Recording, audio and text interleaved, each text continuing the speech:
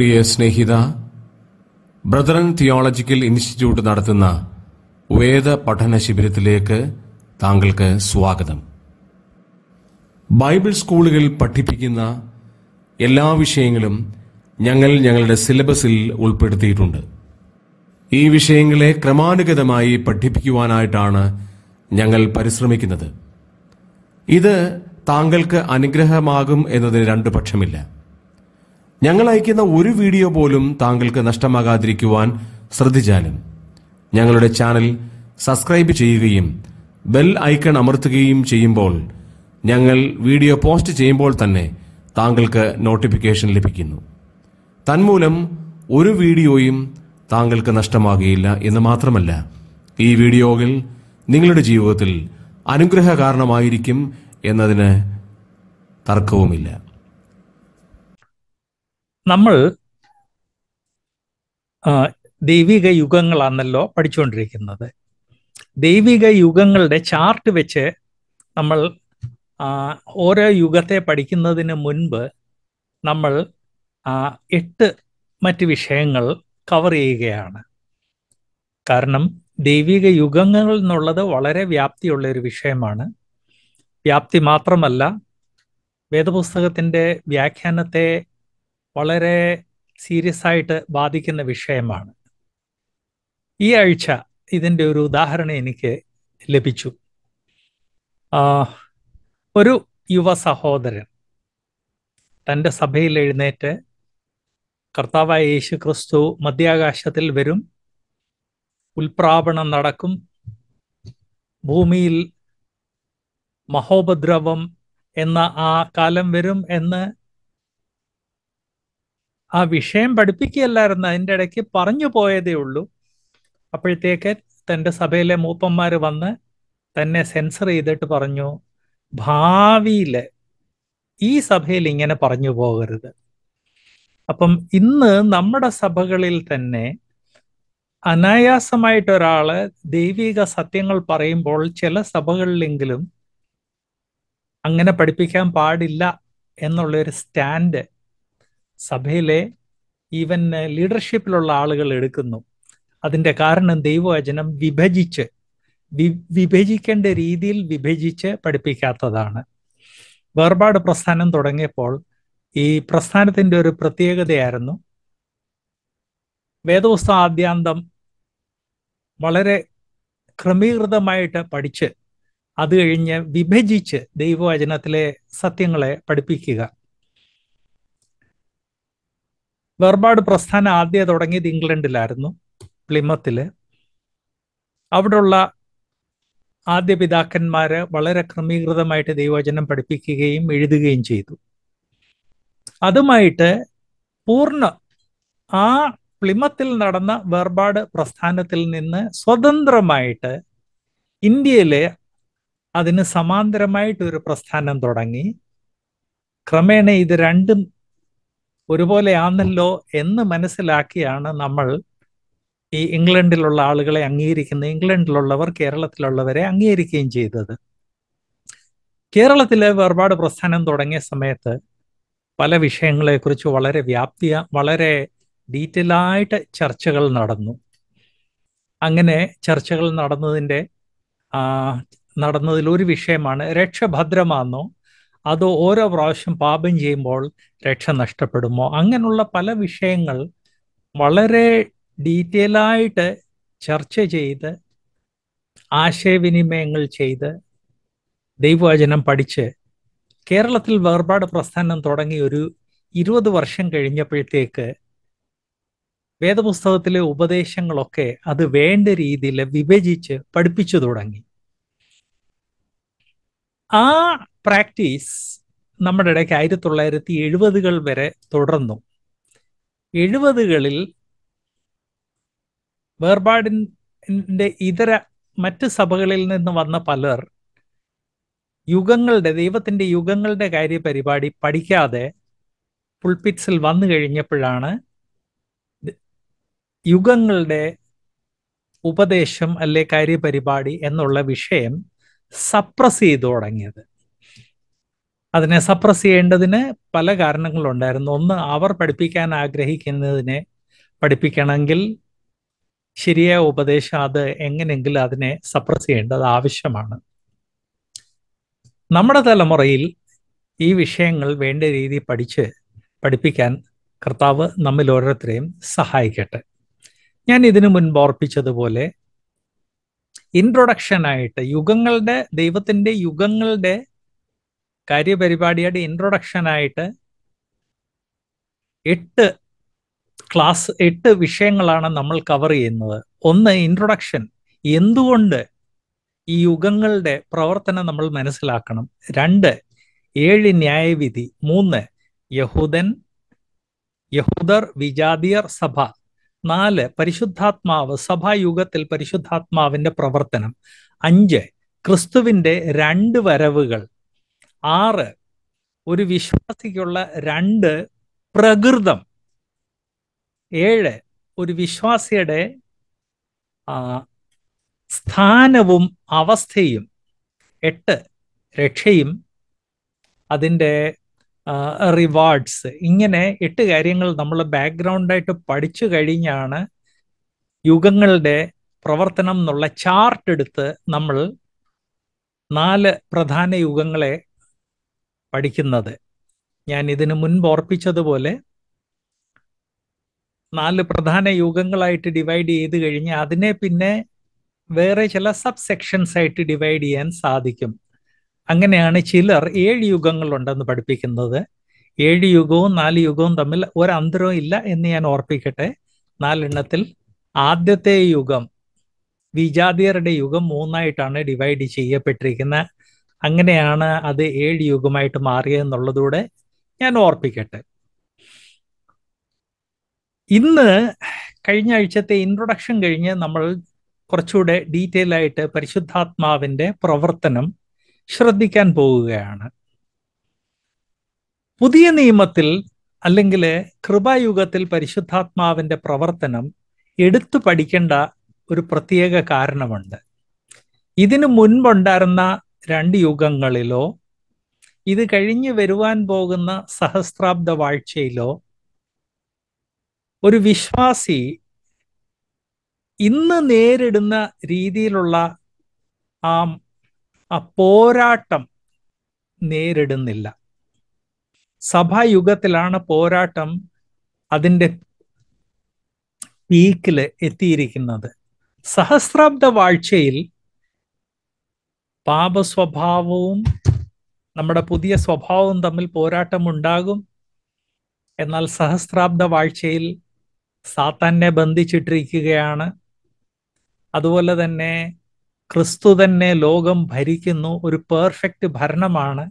ഇതിന്റെയൊക്കെ കാരണം കൊണ്ട് വിശ്വാസികൾക്ക് സഭായുഗത്തിലുള്ള രീതിയിലുള്ള പോരാട്ടം ഉണ്ടാകത്തില്ല. സഭായുഗത്തിലാണ് ഏറ്റവും അധികം പോരാട്ടം. അതുകൊണ്ടാണ് പരിശുദ്ധാത്മാവിന്റെ പ്രവർത്തനം സഭായുഗത്തിൽ മറ്റെല്ലാ യുഗങ്ങളിൽ നിന്ന് വ്യത്യസ്തമായതും വ്യാപ്തിയുള്ളതും പലവിധവും ആയിരിക്കുന്നത്. പുതിയ നിയമത്തിൽ പരിശുദ്ധാത്മാവിന്റെ പ്രവർത്തനം മനസ്സിലാക്കണമെങ്കിൽ ഇരുപത്തിയേഴ് ബുക്സ്. പ്രത്യേകിച്ച് അപ്പോസ്തല പ്രവൃത്തി തൊട്ട് യൂതയുടെ ലേഖനം വരെയുള്ള പുസ്തകങ്ങൾ അത് അനലൈസ് ചെയ്യേണ്ടത് ആവശ്യമാണ്.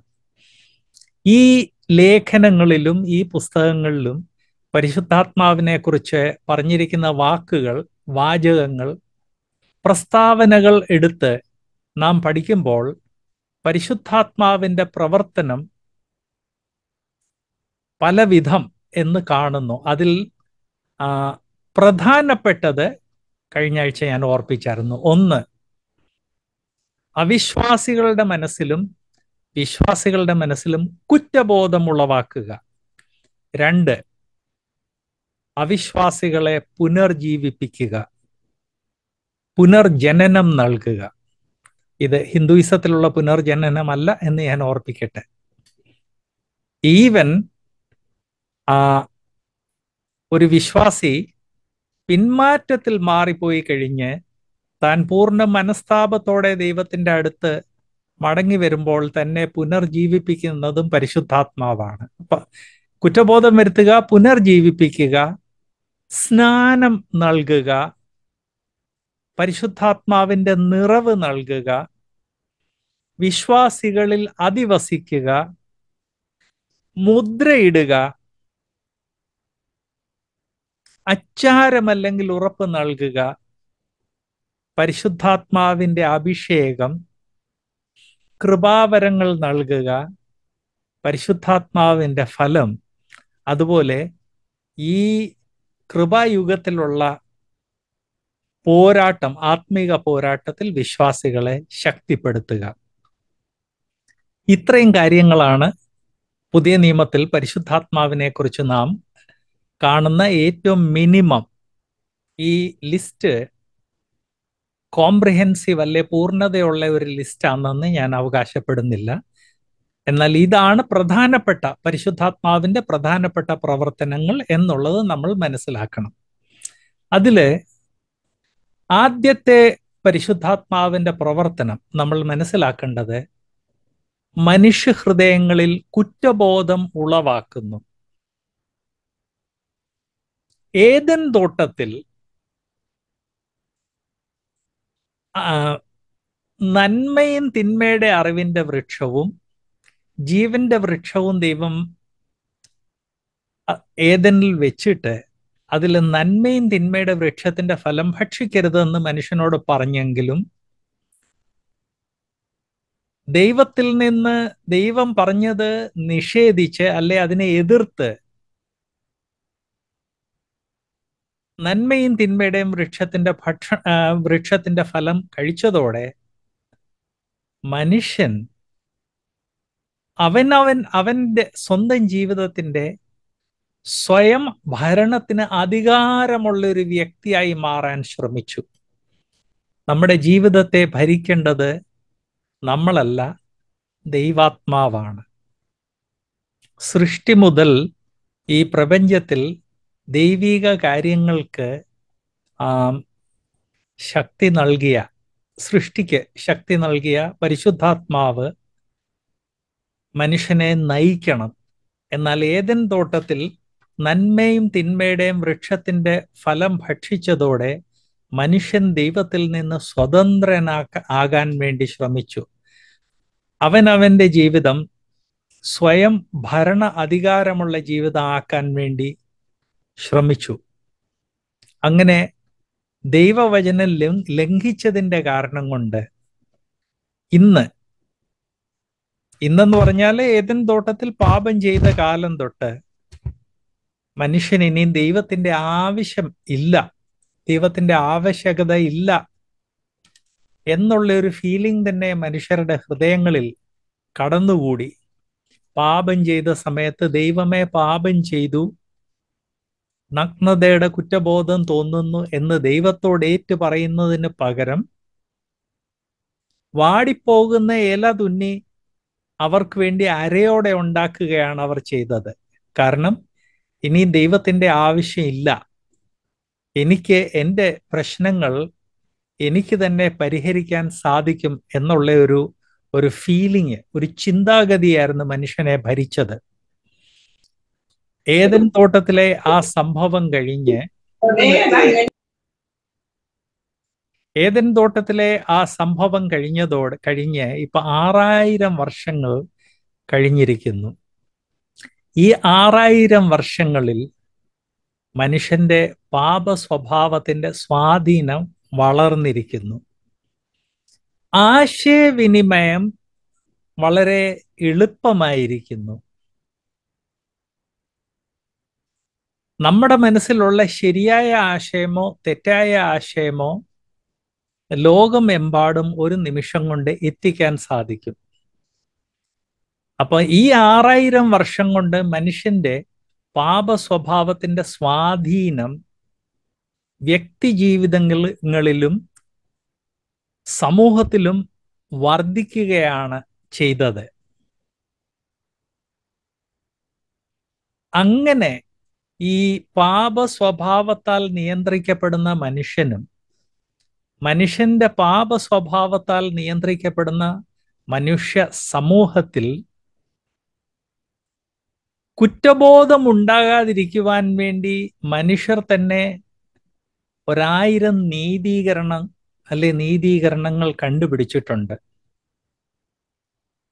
ഫ്രാൻസിലുള്ള ഒരു എഴുത്തുകാരനായിരുന്നു മാർക്കിസ് ഡി സാഡ് അല്ലെ? Marquis de Sade. Marquis de സാഡിന്റെ പേരിലാണ് സാഡിസം എന്നുള്ള വാക്ക് സൈക്കോളജിയിൽ വന്നത്. മനുഷ്യന് എന്ത് വേണമെങ്കിലും ചെയ്യാൻ സ്വതന്ത്രനാണെന്നും സ്വതന്ത്രനായ മനുഷ്യൻ എന്ത് കുറ്റം ചെയ്തു കഴിഞ്ഞാലും അത് കുറ്റമല്ല എന്നുള്ള ഫിലോസഫി വളരെ വ്യക്തമായിട്ടും വളരെ വ്യാപ്തിയോടെ വളരെ ഡീറ്റെയിൽ ആയിട്ട് വളരെ വിശദമായിട്ട് വിശദീകരിച്ചെഴുതിയൊരു ഫിലോസഫറായിരുന്നു മാർക്കിസ് ഡി സാഡ് തന്നെ ആ സമയത്ത് പിടിച്ച് ജയിലിലിട്ടെങ്കിലും താൻ പത്ത് മുന്നൂറ് വർഷങ്ങൾക്ക് മുൻപ് എഴുതിയ ആ ഫിലോസഫിയാണ് ഇന്ന് ലോകത്തെ ഭരിക്കുന്നത്. തെറ്റ് അല്ലെങ്കിൽ കുറ്റം എന്ന് പറഞ്ഞാൽ ഒരു കാര്യമില്ല. ഒരു കാര്യം തെറ്റെന്ന് നമ്മൾ ചിന്തിക്കുവാണെങ്കിൽ അത് തെറ്റ്. ശരിയെന്ന് ചിന്തിക്കുവാണെങ്കിൽ അത് ശരി. അങ്ങനൊരു ഫിലോസഫിയാണ് അതിന്റെ കാരണം കൊണ്ട് ദൈവമില്ലെന്നും നന്മയും തിന്മയും എന്നുള്ള ഒരു അന്തരമില്ലെന്നുള്ള ഒരു ഫിലോസഫിയാണ് ഇന്ന് ലോകത്തെ ഭരിക്കുന്നത്. അങ്ങനുള്ള ഒരു ലോകത്തിൽ ജനിച്ചു വളരുന്നവർ ആ സമൂഹം ചിന്തിക്കുന്ന രീതിയിലേ ചിന്തിക്കത്തുള്ളൂ. ഞാൻ ഓർപ്പിക്കട്ടെ നമ്മളെല്ലാവരും നാം ജനിച്ച സമൂഹത്തിന്റെ ഉൽപ്പന്നങ്ങളാണ് പ്രോഡക്ട്സ് ആണ്. ആൻഡ് സമൂഹം സമൂഹത്തിലുള്ള ആ തെറ്റായ ധാരണകൾ ആ വിശ്വാസങ്ങളോടെയാണ് നാം വളരുന്നത്. ഇന്നത്തെ ഈ സമൂഹത്തിൽ ശരിയൊന്നുമില്ല എന്ന് പറഞ്ഞാൽ ഒന്നുമില്ല തെറ്റെന്ന് പറഞ്ഞാൽ ഒന്നുമില്ലെന്ന് പഠിപ്പിക്കുമ്പോൾ ദൈവാത്മാവ് മനുഷ്യഹൃദയങ്ങളിൽ ചെന്ന് പാപവും നീതിയും തമ്മിലുള്ള അന്തരം വ്യക്തമായിട്ട് കാണിച്ചു കൊടുത്ത് മനുഷ്യനെ പഠിപ്പിച്ചില്ലെങ്കിൽ മനുഷ്യൻ തെറ്റിന്റെ പുറകെ പോകും. അതുകൊണ്ടാണ് പരിശുദ്ധാത്മാവ് കുറ്റബോധം വരുത്തേണ്ട ആവശ്യം. യോഹന്നാന്റെ സുവിശേഷം പതിനാറാം അധ്യായത്തിന്റെ ഏഴ് തൊട്ട് പതിനൊന്നിൽ നാം നാം ഇങ്ങനെ വായിക്കുന്നു. യോഹന്നാൻ പതിനാറാം അധ്യായം ഏഴ് തൊട്ട് പതിനൊന്നിൽ നാം വായിക്കുന്നത് എന്നാൽ ഞാൻ നിങ്ങളോട് സത്യം പറയുന്നു. ഞാൻ പോകുന്നത് നിങ്ങൾക്ക് പ്രയോജനം. ഞാൻ പോകാഞ്ഞാൽ കാര്യസ്ഥൻ നിങ്ങളുടെ അടുക്കൽ വരികയില്ല. ഞാൻ പോയാൽ അദ്ദേഹത്തെ നിങ്ങളുടെ അടുക്കൽ അയക്കും. അദ്ദേഹം വന്ന് പാപത്തെക്കുറിച്ചും നീതിയെക്കുറിച്ചും ന്യായവിധിയെക്കുറിച്ചും ലോകത്തിന് ബോധം വരുത്തും.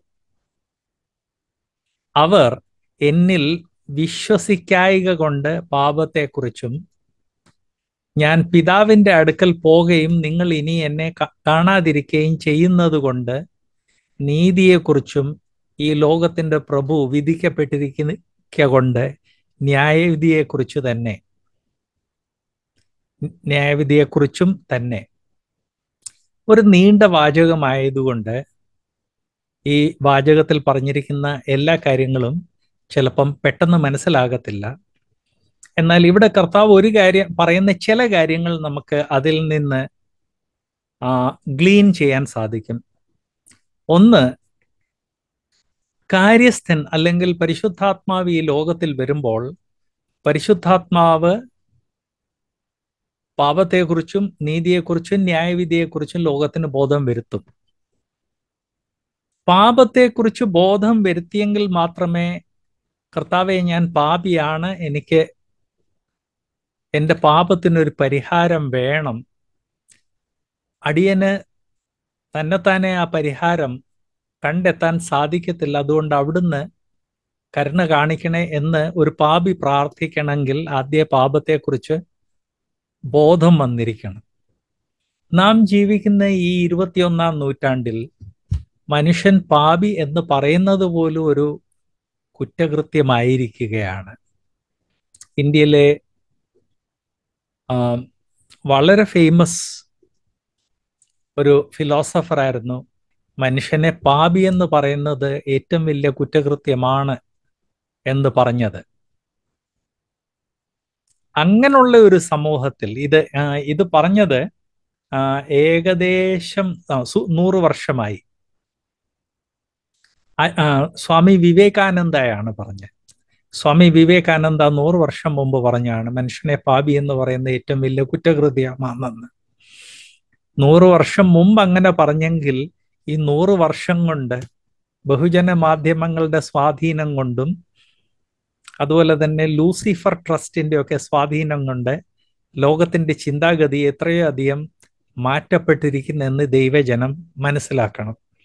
അങ്ങനെയുള്ള ഒരു സമൂഹത്തിൽ പാപത്തെക്കുറിച്ച് ബോധം വരുത്തണമെങ്കിൽ അത് പരിശുദ്ധാത്മാവിന്റെ പ്രവർത്തനം കൊണ്ട് മാത്രമേ സാധിക്കത്തുള്ളൂ എന്ന് ഞാൻ ഓർപ്പിക്കട്ടെ.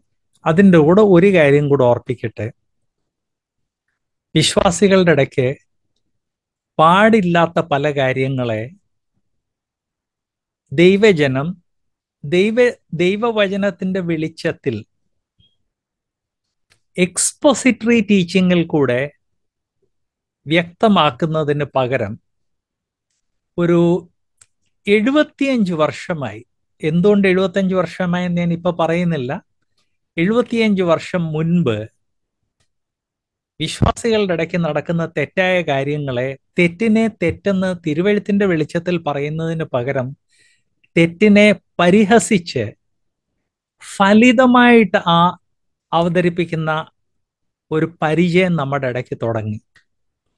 അത് ഇന്നും തുടരുന്നുണ്ട്. വിശ്വാസികൾ ചെയ്യുന്ന തെറ്റിനെ തിരുവഴുത്തിന്റെ വെളിച്ചത്തിൽ തെറ്റിനെ തെറ്റെന്ന് പറയുന്നതിന് പകരം മനുഷ്യബുദ്ധി ഉപയോഗിച്ച് തെറ്റിനെ ഒരു പരിഹാസ വിഷയമായിട്ടും ഒരു ഫലിതമായിട്ട് നമ്മുടെ ഇടയ്ക്ക് പ്രസന്റ് ചെയ്യുന്നു. പല കാർട്ടൂൺസ് അങ്ങനെയുള്ളതാണ്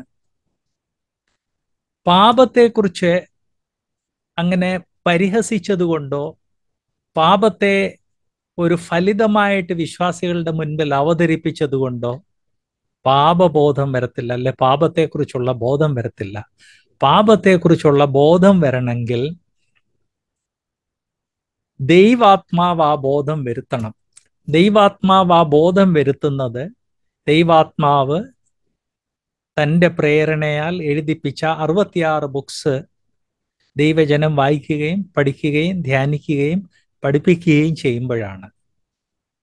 അപ്പം അദ്ദേഹം വന്ന് പാപത്തെക്കുറിച്ച് ബോധം വരുത്തും. അതുപോലെ തന്നെ നീതിയെക്കുറിച്ച് ബോധം വരുത്തും. നീതിയെക്കുറിച്ച് ബോധം വരുത്തുമെന്ന് പറഞ്ഞിടത്ത് വിശ്വാസികളെക്കുറിച്ചും പറയുന്നുണ്ട്. അതിന്റെ കാരണം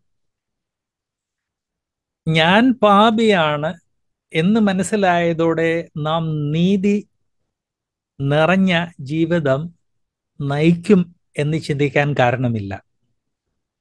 ഞാൻ പാപിയാണെന്ന് മനസ്സിലായി കഴിഞ്ഞാൽ മനുഷ്യൻ ദൈവത്തോട് പാപക്ഷമ യാചിക്കാൻ സാധ്യതയുണ്ടെങ്കിലും പാപക്ഷമ ലഭിച്ചു കഴിയുമ്പോൾ ഞാൻ ക്ഷമിക്കപ്പെട്ടവനാണ് ഇനി ഞാൻ പാപിയല്ല. എന്റെ രക്ഷഭദ്രമാണ്. അതുകൊണ്ട് ഇനി എന്നെ ആരും പഠിപ്പിക്കണ്ട.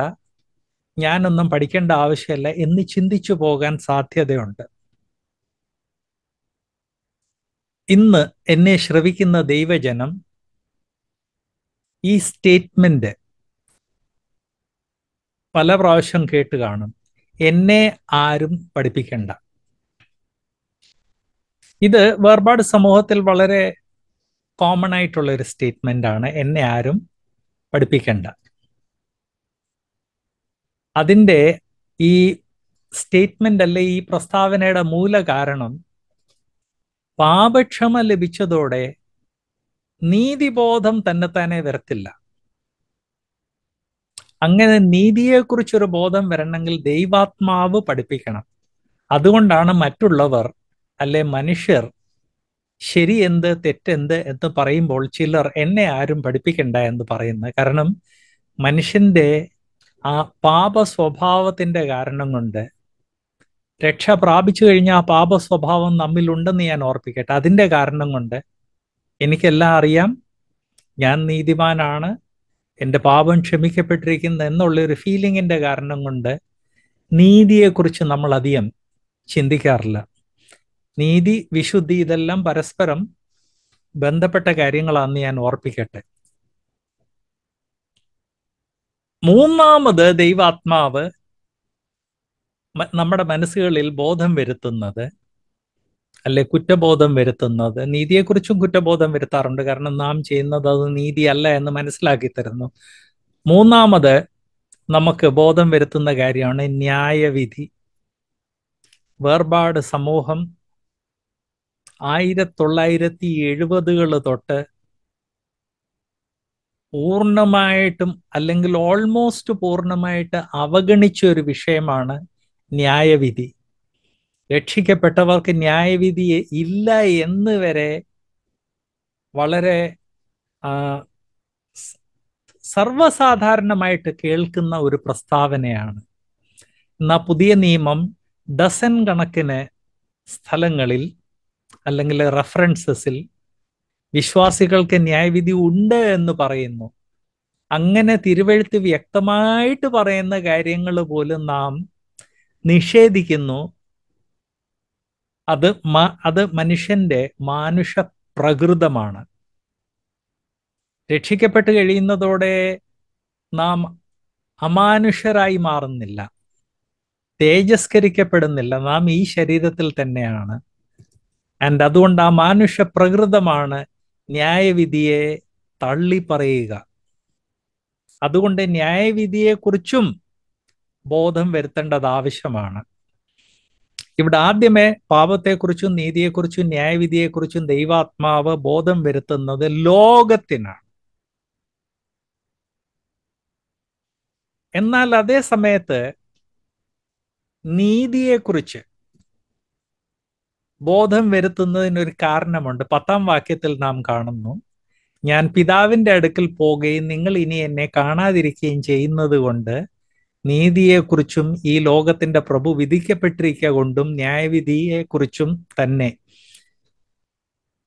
കർത്താവ് സ്വർഗാരോഹണം ചെയ്തു പോയി കഴിഞ്ഞതോടെ ഇന്ന് നാം കർത്താവിനെ സ്വന്തം കണ്ണുകൊണ്ട് കാണുന്നില്ല.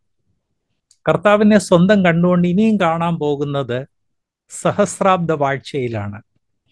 അങ്ങനെ കർത്താവ് കർത്താവിനെ നാം കാണാത്തതിന്റെ കാരണം കൊണ്ട് മനുഷ്യ നിർമ്മിത തത്വശാസ്ത്രങ്ങൾ ഉപയോഗിച്ച് നാം നീതി എന്നുള്ള വിഷയം അത് നിഷേധിക്കാൻ സാധ്യതയുണ്ട്. ഇൻഫാക്ട് നീതി എന്നുള്ള വിഷയം വളരെ വ്യാപകമായിട്ട് നിഷേധിക്കപ്പെടുന്ന ഒരു കാര്യമാണ്. അങ്ങനെ നിഷേധിച്ച് നമ്മൾ നീതി വിശുദ്ധി ഇങ്ങനെയുള്ള കാര്യങ്ങളൊന്നും വലിയ ശ്രദ്ധിക്കേണ്ട ആവശ്യമില്ലെന്നൊരു ഒരു ചിന്താഗതിയോടെ ജീവിക്കുന്നത് കൊണ്ടാണ് വിശ്വാസികൾ ന്യായവിധി നേരിടേണ്ടി വരുമെന്ന് പറയുമ്പോൾ അത് ആളുകൾക്ക് വളരെ എതിരിന് കാരണമായി തീരുന്നത്. ഈ വാക്യത്തിന്റെ അടിസ്ഥാനത്തിൽ ദൈവാത്മാവ് പാപത്തെക്കുറിച്ചും നീതിയെക്കുറിച്ചും ഒക്കെ ലോകത്തിന് ബോധ്യം വരുത്തും എന്ന് മാത്രമല്ല വിശ്വാസികളെ വിശ്വാസികളുടെ മനസ്സിൽ നീതിയെക്കുറിച്ച് ബോധം വരുത്തുമെന്ന് വ്യക്തമാക്കുന്നു.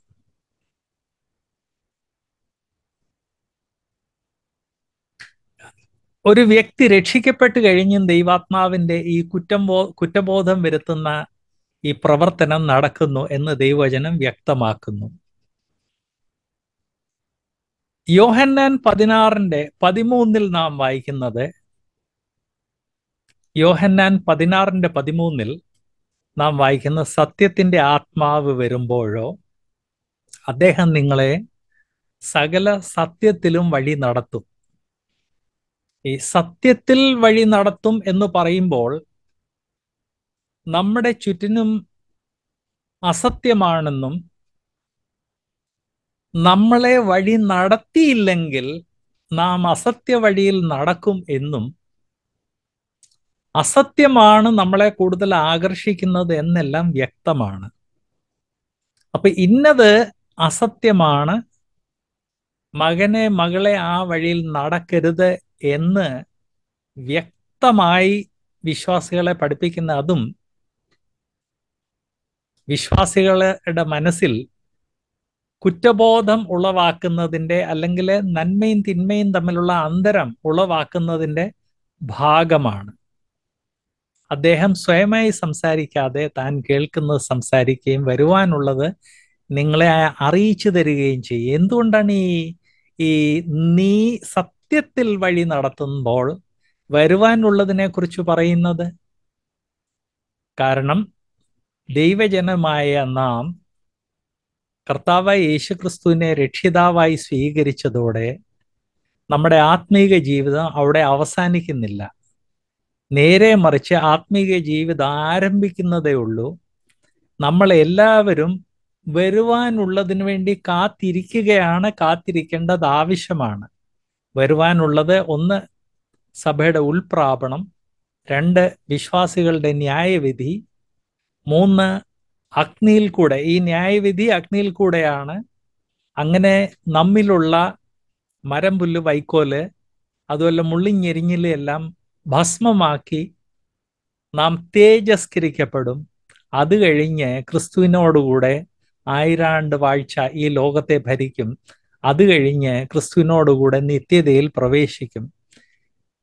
ഇതെല്ലാം മനസ്സിലാക്കിയിരിക്കേണ്ടത് ഇന്ന് നാം ജീവിക്കുമ്പോൾ നമുക്ക് ഒരു ലക്ഷ്യമുണ്ടായിരിക്കണം. ആ ലക്ഷ്യത്തിന് വേണ്ടി ആ ഭാവി അറിഞ്ഞെങ്കിൽ മാത്രമേ ആ ലക്ഷ്യത്തിന് വേണ്ടി നാം ജീവിക്കത്തുള്ളൂ. ഇന്ത്യയിൽ എല്ലാ സ്കൂളുകളും എല്ലാ കോളേജസും പരീക്ഷ നടത്താറുണ്ട്. എന്നാൽ ഇന്ത്യ സ്വതന്ത്രമായി കഴിഞ്ഞ് ആയിരത്തി തൊള്ളായിരത്തി നാൽപ്പത്തി ഏഴിൽ സ്വതന്ത്രമായി കഴിഞ്ഞ്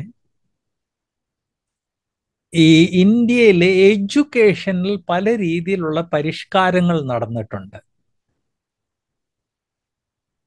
അതിൽ ആദ്യത്തെ റൗണ്ട് പരിഷ്കാരം നടന്നത് ഞാൻ ഏതാണ്ട് ബി എസ് സി പഠിച്ചുകൊണ്ടിരുന്ന സമയമായിരുന്നു. ആയിരത്തി തൊള്ളായിരത്തി എഴുപത്തി ഒന്ന് എഴുപത്തിരണ്ട്. ആ ആദ്യത്തെ പരിഷ്കാരം ഇതായിരുന്നു. ചില വിഷയങ്ങൾ സ്റ്റുഡൻസിന് പരീക്ഷ എഴുതണമെങ്കിൽ എഴുതട്ട് എഴുതണ്ട എങ്കിൽ എഴുതണ്ട. അത് കഴിഞ്ഞ് പിന്നെ പരിഷ്കാരം ഇങ്ങനെ ഇങ്ങനെ വന്നുകൊണ്ടേ ഇരിക്കുവാണ് ഇപ്പം ലേറ്റസ്റ്റ് പരിഷ്കാരത്തിനൊക്കെ അനുസരിച്ച് ആദ്യത്തെ അഞ്ചാം ക്ലാസ് വരെ പരീക്ഷയെ വേണ്ട എന്നുള്ള പ്രപ്പോസൽസ് ധാരാളമുണ്ട്. എനിക്ക് ഓർമ്മയുണ്ട് ഞാൻ ബി എസ് സി ഫസ്റ്റ് ഇയറിൽ പഠിച്ചുകൊണ്ടിരുന്ന സമയത്ത് ഇംഗ്ലീഷ് അതിന് ഒരു പ്രത്യേക ഒരു പേര് കൊടുത്തു.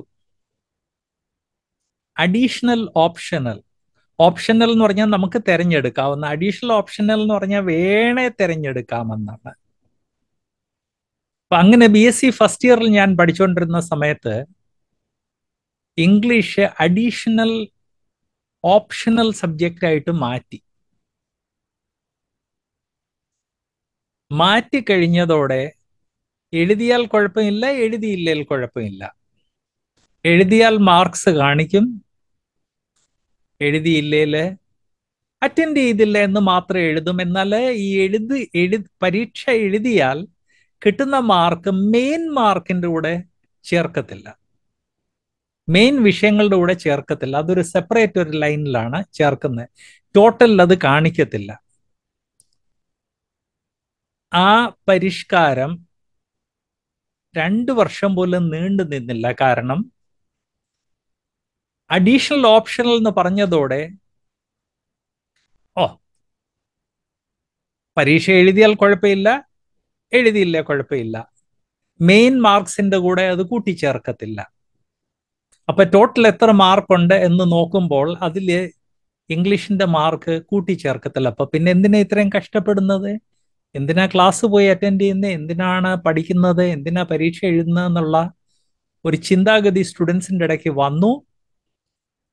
എൺപത് മറ്റ് വിഷയങ്ങളിലൊക്കെ എൺപത് കുട്ടികൾ ഉള്ള ക്ലാസ്സിൽ ഇംഗ്ലീഷിൽ പത്ത് കുട്ടികൾ എട്ട് കുട്ടികൾ അഞ്ച് കുട്ടികളൊക്കെ അറ്റൻഡ് ചെയ്യത്തുള്ളായിരുന്നു. അങ്ങനെ എൺപത് കുട്ടികളുള്ള ക്ലാസ്സിൽ പത്തും എട്ടും അഞ്ച് സ്റ്റുഡൻസ് ഒക്കെ അറ്റൻഡ് ചെയ്യുമ്പോൾ സാർമാർക്കും പഠിക്കാൻ പഠിപ്പിക്കാൻ വലിയ താല്പര്യം ഉണ്ടാകത്തില്ലായിരുന്നു. പരീക്ഷയില്ല എങ്കിൽ കുട്ടികൾ പഠിക്കത്തില്ല. ഇത് ഇന്ത്യയിൽ മാത്രമല്ല ഇന്ത്യയുടെ പുറത്തും പല പരീക്ഷണങ്ങളിൽ കൂടെയും ഗവേഷണങ്ങളിൽ കൂടെ വ്യക്തമായിട്ടുള്ള കാര്യമാണ്. എവിടെ പരീക്ഷയില്ല അവിടെ കുട്ടികൾ പഠിക്കത്തില്ല. എവിടെ ഒരു ലക്ഷ്യമില്ല അവിടെ ആളുകൾ ലക്ഷ്യബോധമുള്ള ഉള്ളവരായിട്ട് ജീവിക്കത്തില്ല. അപ്പൊ ഇവിടെ വരുവാനുള്ളത് നിങ്ങളെ അറിയിക്കുന്നതിന്റെ ഒരു പ്രധാന കാരണം ഒരു വിശ്വാസി തന്റെ ജീവിതത്തിൽ വരുവാനുള്ളത് താൻ നേരിടാനുള്ളത് എല്ലാം വ്യക്തമായിട്ട് മനസ്സിലാക്കിയാൽ തന്റെ ജീവിതം ആ ലക്ഷ്യത്തിനനുസരിച്ച് ക്രമീകരിക്കും. അത് പരിശുദ്ധാത്മാവ് ദൈവജനത്തെ നീതി എന്ത്? വിശുദ്ധി എന്ത്? പാപം എന്ത്? ഇങ്ങനെയുള്ള വിഷയങ്ങളെക്കുറിച്ചുള്ള ബോധം വരുത്തുന്നതിന്റെ ഭാഗമാണെന്നുള്ളത് ദൈവ ദൈവാത്മാവ് ഓർപ്പിക്കുന്നു. മറ്റൊരു കാരണം ഈ ദൈവാത്മാവ് എന്തുകൊണ്ട് ഈ കുറ്റബോധം വരുത്തണം എന്നുള്ളത് യരമ്യാവിന്റെ പുസ്തകം പതിനേഴിന്റെ ഒൻപത് വ്യക്തമാക്കുന്നു. യരമ്യാവ് പതിനേഴിന്റെ ഒൻപതിൽ നാം വായിക്കുന്നത് ഹൃദയം എല്ലാറ്റിനേക്കാളും കപടവും വിഷമവും ഉള്ളത്. അത് ആരാഞ്ഞറിയുന്നവൻ ആർ? മനുഷ്യന്റെ ഹൃദയത്തെ ആരാഞ്ഞ് അറിയുന്നവൻ ഒരാൾ മാത്രമേ ഉള്ളൂ. അത് ദൈവാത്മാവാണ്. അതുകൊണ്ടാണ് ദൈവാത്മാവ് ആദ്യത്തെ മിനിസ്റ്ററി ആയിട്ട് നമ്മൾ ലിസ്റ്റ് ചെയ്തത് മനുഷ്യരുടെ മനസ്സിൽ കുറ്റബോധം വരുത്തുക. അത് മെയിൻ മിനിസ്ട്രി അവിശ്വാസികളുടെ മധ്യേ ആണെങ്കിലും വിശ്വാസികളുടെ ജീവിതത്തിൽ അത് ആവശ്യമാണ് എന്ന് ദൈവവചനം ഓർപ്പിക്കുന്നു. പരിശുദ്ധാത്മാവിന്റെ രണ്ടാമത്തെ പ്രവർത്തനമാണ് പുനർജീവിപ്പിക്കുക. ജീവൻ നൽകുക പുനർജീവിപ്പിക്കുക. അങ്ങനെയുള്ള എല്ലാ കാര്യങ്ങളും പുതിയ നിയമത്തിൽ ചെയ്യുന്നത് ദൈവാത്മാവാണ്. നമുക്കറിയാമല്ലോ പിതാവ് പ്ലാൻ ചെയ്യുന്ന കാര്യങ്ങൾ അത് അതിൽ ഒരു നല്ല ശതമാനം ചെയ്യുന്നത് ദൈവാത്മാവാണ്. പാപത്തിൽ മരിച്ചു കിടക്കുന്ന മനുഷ്യനെ പുനർജീവിപ്പിച്ച് രൂപാന്തരം രൂപാന്തരപ്പെടുത്തുന്ന ശുശ്രൂഷ അത് പരിശുദ്ധാത്മാവിന്റെതാണ്. യോഹന്നാന്റെ സുവിശേഷം അഞ്ചാം അധ്യായത്തിന്റെ എട്ടാം വാക്യത്തിൽ നാം വായിക്കുന്നത് യോഹന്നാൻ മൂന്നാം അധ്യായം അഞ്ച് തൊട്ട് എട്ടിൽ നാം വായിക്കുന്നത് അതിന് യേശു ആമേൻ ആമേൻ ഞാൻ നിന്നോട് പറയുന്നു. വെള്ളത്താലും ആത്മാവിനാലും ജനിച്ചില്ല എങ്കിൽ ദൈവരാജ്യത്തിൽ കടപ്പാൻ ആർക്ക് കഴിയുകയില്ല. ഇവിടെ ഈ വെള്ളം എന്ന് പറയുന്നത് ബൈബിളാണെന്നുള്ള കാര്യം ഞാൻ ഓർപ്പിക്കട്ടെ. ഇതിനെക്കുറിച്ച് വിശ്വാസികൾ പലപ്പോഴും വലിയ സങ്കല്പങ്ങളൊക്കെ ചെയ്യാറുണ്ട്. അമ്മയുടെ ഉദരത്തിൽ ഒരു ശിശു കിടക്കുമ്പോൾ താന് വെള്ളം കൊണ്ട് കവേർഡാണ് അതാണ് ഇവിടെ വെള്ളം എന്ന് വേർ പഠിപ്പിക്കുന്ന വേർപാടുകാർ പലരുണ്ട്. അങ്ങനെയല്ല. വിശുദ്ധ തിരുവഴുത്തിൽ ഏകദേശം എണ്ണൂറോളം ആലങ്കാരിക പ്രയോഗങ്ങളുണ്ട്. ഈ ആലങ്കാരിക പ്രയോഗങ്ങളിൽ ഒന്നാണ് വെള്ളം എന്നുള്ളത്. വിശുദ്ധ തിരുവഴുത്തിന് വേണ്ടി വെള്ളം എന്ന് ഉള്ള വാക്ക് ഉപയോഗിക്കുന്നത്. അപ്പൊ കർത്താവ് ഇവിടെ പറഞ്ഞത് വിശുദ്ധ തിരുവഴുത്ത വിശുദ്ധ തിരുവഴുത്തിൽ കൂടെയും ആത്മാവിനാലും ജനിച്ചില്ലെങ്കിൽ ദൈവരാജ്യത്തിൽ കടപ്പാൻ ആർക്കും കഴിയുകയില്ല. അങ്ങനെ പറഞ്ഞതിന്റെ കാരണമുണ്ട്. മനുഷ്യൻ പാപിയാണെന്നും പാപിയായ മനുഷ്യന് സ്വന്തം കർമ്മം കൊണ്ട് തന്നെ തന്നെ രക്ഷിക്കാൻ സാധിക്കത്തില്ലെന്നും താൻ യേശു ക്രിസ്തുവിനെ രക്ഷിതാവായിട്ട് സ്വീകരിച്ചെങ്കിൽ രക്ഷ പ്രാപിക്കുമെന്ന് ഉള്ള ഈ അറിവുകളെല്ലാം വിശുദ്ധ ബൈബിളിൽ മാത്രമേ ഉള്ളൂ. ബൈബിളിന്റെ പുറത്ത് ദൈവിക വെളിപ്പാടില്ല. രക്ഷയെക്കുറിച്ചുള്ള സന്ദേശം ബൈബിളിന്റെ പുറത്ത് എങ്ങുമില്ല എന്ന് ഞാൻ ഓർപ്പിക്കട്ടെ. അതുകൊണ്ടാണ് കർത്താവ് ഇവിടെ പറഞ്ഞത് വെള്ളത്താലും ആത്മാവിനാലും ഒരു വ്യക്തി ദൈവവചനം വായിച്ച് ദൈവവചനം മനസ്സിലാക്കുമ്പോഴാണ് താൻ പാപിയാന്നുള്ളത് മനസ്സിലാകുന്നത്. അങ്ങനെ മനസ്സിലായി കഴിയുമ്പോൾ താൻ ദൈവത്തിലേക്ക് തിരിഞ്ഞ് ആത്മാവിനാൽ പുതിയ ജന്മം പ്രാപിക്കും.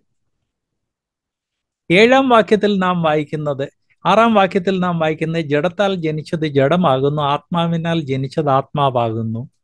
നമ്മൾ കർത്താവ് യേശു ക്രിസ്തുവിനെ രക്ഷിതാവായിട്ട് സ്വീകരിക്കുമ്പോൾ ആത്മാവിനാൽ ജനിക്കുകയാണ്.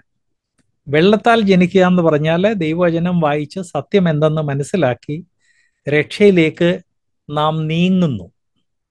ആൻഡ് ഫൈനലി ആത്മാവിനാൽ ജനിക്കുന്നു. ഇത് രണ്ടും ആവശ്യമാണ്. അതുകൊണ്ടാണ് വെള്ളത്താൽ ആത്മാവിനാലും ജനിക്കുക എന്ന് പറയുന്നത്. ഏഴാം വാക്യം നിങ്ങൾ പുതുതായി ജനിക്കണം എന്ന് ഞാൻ നിന്നോട് പറയുകയാൽ ആശ്ചര്യപ്പെടരുത്. കാറ്റ് ഇഷ്ടമുള്ളത് ഊതുന്നു. അതിന്റെ ശബ്ദം നീ കേൾക്കുന്നു എങ്കിൽ അത് എവിടെ നിന്ന് വരുന്നെന്നും എവിടെ പോകുന്നെന്നും അറിയുന്നില്ല. ആത്മാവിനാൽ ജനിച്ചവൻ എല്ലാം അതുപോലെ ആകുന്നെന്ന് ഉത്തരം പറഞ്ഞു. ഈ കാറ്റിന്റെ കാര്യം കർത്താവ് അത് യഹൂദന്മാർ മനസ്സിലാക്കിയ ഒരു ആലങ്കാരിക പ്രയോഗം അല്ലെങ്കിൽ ഒരു പഴഞ്ചൊല്ലാണ്.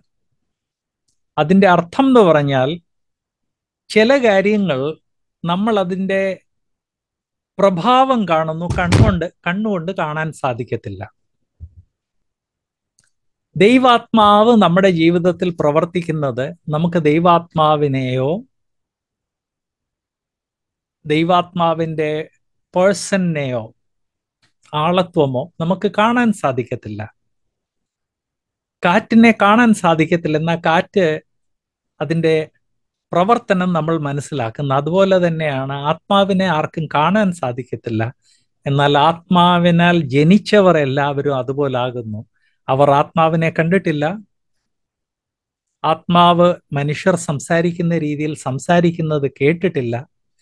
എന്നാൽ കാറ്റ് അടിക്കുമ്പോൾ ഇലകൾ പറക്കുന്നത് കാണുന്ന രീതിയിൽ തന്നെ പരിശുദ്ധാത്മാവ് നമ്മുടെ ജീവിതത്തിൽ വരുമ്പോൾ ജീവിതത്തിൽ മാറ്റങ്ങൾ വരുന്നത് നമ്മൾ കാണും. സോ പരിശുദ്ധാത്മാവിന്റെ വളരെ പ്രധാനപ്പെട്ട ഒരു ശുശ്രൂഷയാണ് നമ്മളെ രൂപാന്തരപ്പെടുത്തുക നമുക്ക് ഒരു പുതുജനനം നൽകുക. ആത്മാവിൽ ഉള്ള ജനനം. രക്ഷ. ഞാൻ അടുത്ത പോയിന്റ് കവർ ചെയ്യാൻ സമയമില്ലാത്തത് കൊണ്ട് ഈ ക്ലാസ് ഇവിടെ സ്റ്റോപ്പ് ചെയ്യുകയാണ്. ദൈവം അനുവദിച്ചാൽ അടുത്ത ആഴ്ച നമ്മൾ ഇതെല്ലാം ഇവിടുന്ന് കണ്ടിന്യൂ ചെയ്യുന്നതായിരിക്കും. ഞാൻ ഒരു പ്രാവശ്യം കൂടെ ഓർപ്പിക്കട്ടെ. ബ്രദേഴ്സ് സിസ്റ്റേഴ്സ് എന്ന് പരിശുദ്ധാത്മാവിനെ കുറിച്ച് വിശ്വാസികളുടെ ഇടയ്ക്ക് ധാരാളം ആശയക്കുഴപ്പങ്ങളുണ്ട്. അത് ദൈവവചനം വേണ്ട രീതിയിൽ വിഭജിച്ച് പഠിക്കാത്തത് കൊണ്ടാണ്. ആരെങ്കിലും എവിടെങ്കിലും എന്തെങ്കിലും പറഞ്ഞു കഴിഞ്ഞാൽ ഉടനെ അതങ്ങ് സത്യം എന്ന് അങ്ങ് സങ്കല്പിക്കുക അങ്ങനെയല്ല. നാം ദൈവവചനം വളരെ ശ്രദ്ധയോടെ വളരെ ക്രമീകൃതമായിട്ട് വായിച്ച് പഠിക്കേണ്ടത് ആവശ്യമാണ്. അങ്ങനെ ചെയ്തെങ്കിൽ മാത്രമേ ദൈവവചനത്തിലുള്ള ഉപദേശങ്ങൾ വ്യക്തമാകത്തുള്ളൂ. അത് വ്യക്തമായെങ്കിൽ മാത്രമേ നാം തെറ്റിപ്പോകാതെ പൂർണ സമർപ്പണത്തോടെ ജീവിക്കാൻ സാധിക്കത്തുള്ളൂ. ഈ കാര്യങ്ങളൊക്കെ മനസ്സിലാക്കാൻ ദൈവം നമ്മിൽ എല്ലാവരെയും സഹായിക്കട്ടെ. ഗോഡ് ബ്ലെസ് യു പ്രിയ സ്നേഹിത ബ്രദറൻ തിയോളജിക്കൽ ഇൻസ്റ്റിറ്റ്യൂട്ട് പ്രസിദ്ധീകരിക്കുന്ന ഈ വീഡിയോ താങ്കൾക്ക് പ്രയോജനപ്പെട്ടു എന്ന് ഞങ്ങൾ വിശ്വസിക്കുന്നു. ബൈബിൾ സ്കൂളുകളിൽ പഠിപ്പിക്കുന്ന എല്ലാ വിഷയങ്ങളും ഞങ്ങൾ ഞങ്ങളുടെ സിലബസിൽ ഉൾപ്പെടുത്തിയിട്ടുണ്ട്. ഇവ താങ്കൾക്ക് അനുഗ്രഹമാകും എന്ന് ഞങ്ങൾക്ക് ഉറപ്പുണ്ട്. ഞങ്ങൾ അയക്കുന്ന എല്ലാ വീഡിയോയും താങ്കൾ കാണുകയും അതിൽ ഉൾപ്പെടുത്തിയിരിക്കുന്ന വിഷയങ്ങൾ പഠിക്കുകയും ചെയ്യുക.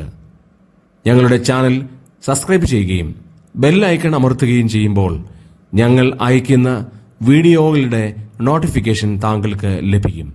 തന്മൂലം ഒരു വീഡിയോയും നിങ്ങൾക്ക് നഷ്ടമാകുകയില്ല. ഈ വീഡിയോകൾ നിങ്ങളുടെ ആത്മീയ ജീവിതത്തിനും ഭാവി തലമുറയ്ക്കും ആത്മീയ പ്രചോദനം ഉളവാക്കും എന്നുള്ളതിന് യാതൊരു സംശയമില്ല താങ്കളുടെ വിലയേറിയ അഭിപ്രായങ്ങളും നിർദ്ദേശങ്ങളും ഞങ്ങളുടെ ഇമെയിൽ വഴിയായും ഫോൺ വഴിയായും ഞങ്ങളെ അറിയിക്കാവുന്നതാണ്.